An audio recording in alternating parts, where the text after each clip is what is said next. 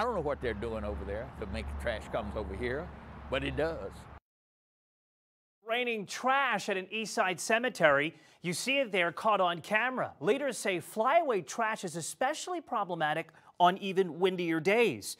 Now, Waste Management has been operating on East Houston Street for the past seven years. The company says it's tried to be a good neighbor and has taken steps to clean the area up. But leaders at the cemetery across the street say, no, no, no, not enough. They reached out to Fox San Antonio's Darian Trotter to solve the problem. Trash, dust, and stench stinks sometimes real bad.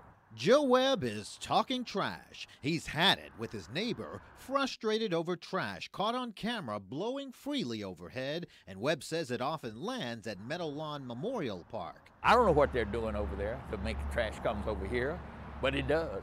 A spokeswoman for Waste Management says the company strives to be a good neighbor to communities and businesses surrounding our facilities. The chaplain at Meadowlawn showed us pictures of debris he says is from the recycling company. Paper is seen lying along the fence line in front of the cemetery and the fence line in the back of the property. This plastic bag stuck in a tree. We also recorded video of trash in front of grave sites with our camera. It's been seven years and we're sick of it. To demonstrate a commitment to keeping the area clean, Waste Management dedicates two full time cleaners who pick up debris on site, along the roadways, and the cemetery twice a day. The company pays for street sweeper services weekly on both sides of East Houston, and they've upgraded the fence line with netting.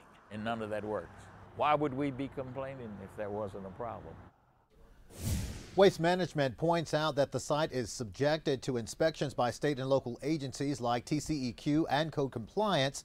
They say there are no current issues at the site. We're looking into that claim and we will let you know what we find out. Darian Trotter, Fox News at 9.